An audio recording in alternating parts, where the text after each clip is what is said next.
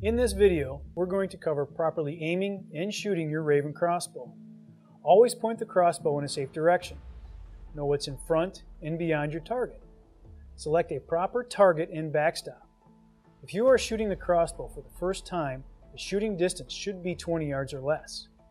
It is recommended to shoot the bow to start at 10 yards and work your way back to 20 yards.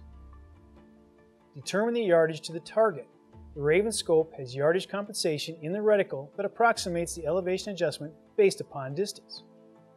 Point your loaded and cocked crossbow toward the intended target with one hand on the foregrip and the other hand on the stock.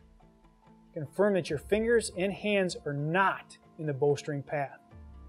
Do not put your finger on the trigger until you're ready to fire your Ravin crossbow. Lightly press the stock against your shoulder. When you are ready to fire, Slide the safety toward the fire position, the red dot.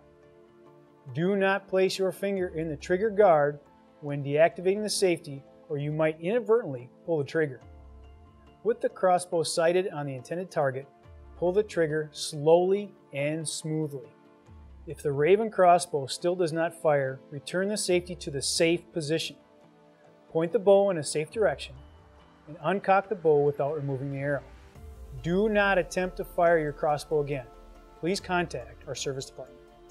Cold weather operation.